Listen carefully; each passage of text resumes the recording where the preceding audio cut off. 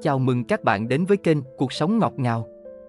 Bạn đã bao giờ tự hỏi tại sao cuộc sống của mình lại không như mong muốn? Bạn có bao giờ cảm thấy mình bị mắc kẹt trong một vòng lặp không có lối thoát? Đã bao giờ bạn tự hỏi liệu mình có đủ dũng cảm để theo đuổi đam mê và mơ ước, hay luôn sợ thất bại sẽ kéo mình xuống? Hôm nay, chúng ta sẽ cùng nhau khám phá cách vượt qua những rào cản đó để sống một cuộc đời đầy ý nghĩa và đam mê. Hãy cùng bắt đầu hành trình thay đổi cuộc sống ngay bây giờ, trong cuộc sống. Chúng ta thường gặp phải những khó khăn, từ việc chọn con đường sự nghiệp cho đến việc đối mặt với những thất bại và thử thách. Đôi khi, chúng ta bị ám ảnh bởi ý nghĩ phải đảm bảo an toàn, phải có một lưới an toàn để dựa vào khi mọi thứ không suôn sẻ.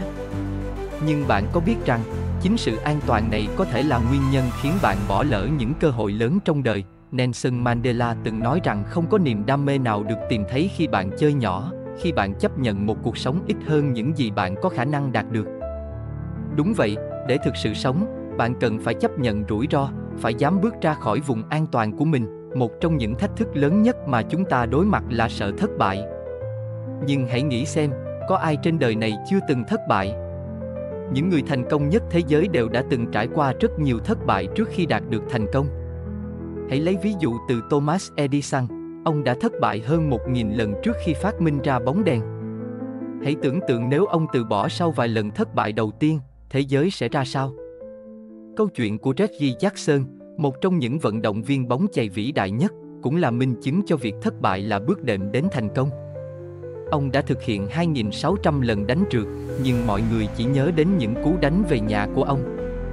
Thất bại không phải là điều tồi tệ, nó chỉ là một bước trên con đường đến thành công.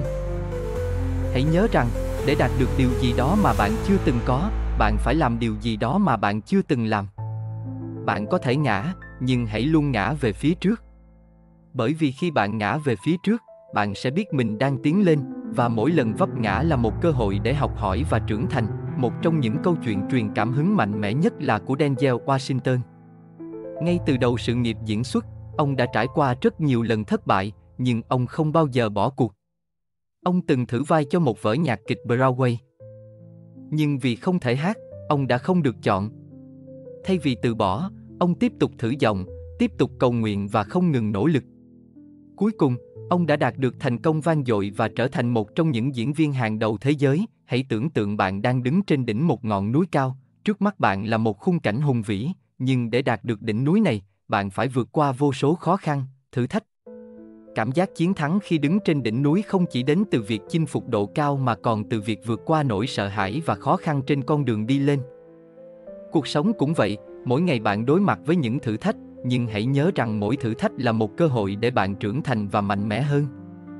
Hành động và bước tiến cụ thể, một đặt mục tiêu rõ ràng, mỗi buổi sáng, hãy dành vài phút để viết ra những mục tiêu mà bạn muốn đạt được. Đừng ngại đặt ra những mục tiêu lớn lao, những mục tiêu có thể làm thay đổi cuộc đời bạn.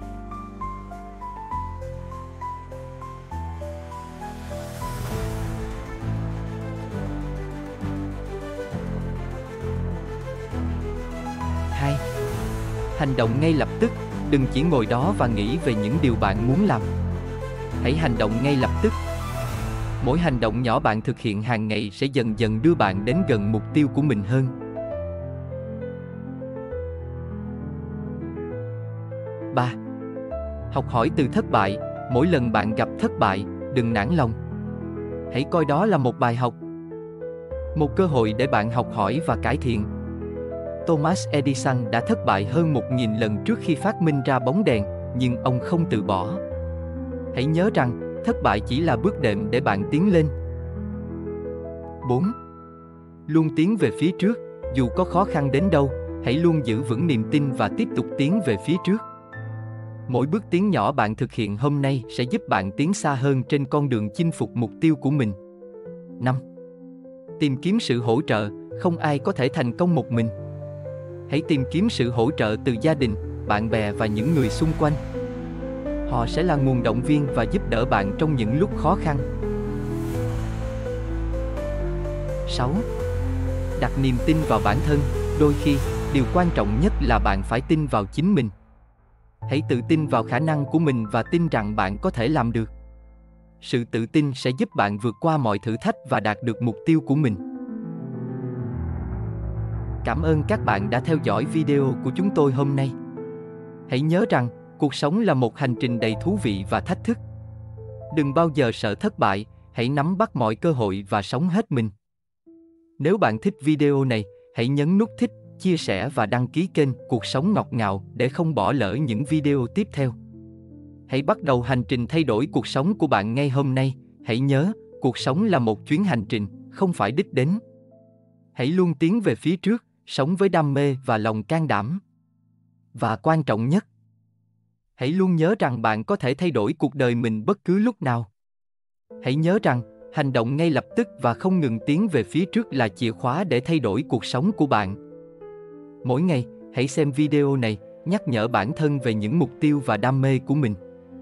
Hãy để cuộc sống ngọt ngào trở thành nguồn động lực mạnh mẽ, giúp bạn vượt qua mọi thử thách và đạt được thành công.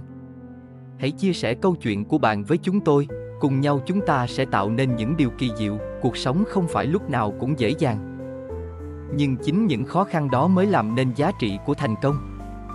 Mỗi thử thách bạn vượt qua là một chiến thắng nhỏ, mỗi mục tiêu bạn đạt được là một bước tiến lớn. Hãy nhớ rằng, không ai có thể sống thay bạn, không ai có thể mơ thay bạn, chỉ có bạn mới biết điều gì là tốt nhất cho mình và chỉ có bạn mới có thể thực hiện được ước mơ của mình tiềm năng của bạn là vô hạn.